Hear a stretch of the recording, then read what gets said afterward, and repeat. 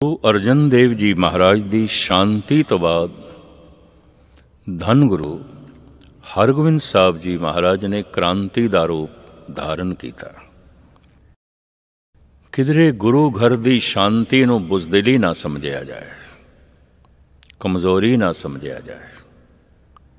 ਸ਼ਾਂਤੀ ਦੀ ਇੰਤਹਾ ਕਰ ਦਿੱਤੀ ਗੁਰੂ ਅਰਜਨ ਦੇਵ ਜੀ ਨੇ, ਪਰ ਇਸ ਸ਼ਾਂਤੀ ਨੂੰ ਕਿਧਰੇ ਕਮਜ਼ੋਰੀ ਨਾ ਸਮਝਿਆ ਜਾਏ ਬੁਜ਼ਦਿਲੀ ਨਾ ਸਮਝਿਆ ਜਾਏ। ਛੇਵੇਂ ਘਰ ਵਿੱਚ ਉਸੇ ਹੀ ਜੋਤ ਨੇ ਕ੍ਰਾਂਤੀ ਦਾ ਰੂਪ ਧਾਰਨ ਕੀਤਾ। ਆਖਿਆ, ਉਹ ਸ਼ਾਂਤੀ, ਕਮਜ਼ੋਰ ਦੀ ਸ਼ਾਂਤੀ ਨਹੀਂ ਸੀ, ਸੂਰਬੀਰ ਦੀ ਸ਼ਾਂਤੀ ਸੀ। ਉਹ ਸਮਦ੍ਰਿਸ਼ਟੀ, ਉਹ ਬਰਦਾਸ਼ਤ ਦਾ ਮਾਦਾ, ਕਮਜ਼ੋਰ ਦਾ ਨਹੀਂ ਸੀ, ਕਮਜ਼ੋਰ ਨੂੰ ਤੇ ਕਮਜ਼ੋਰੀ ਕਰਕੇ ਸਭ ਕੁਝ ਬਰਦਾਸ਼ਤ ਕਰਨਾ ਪੈਂਦਾ ਹੈ। ਪਰ ਇਹ ਸੂਰਬੀਰ ਦਾ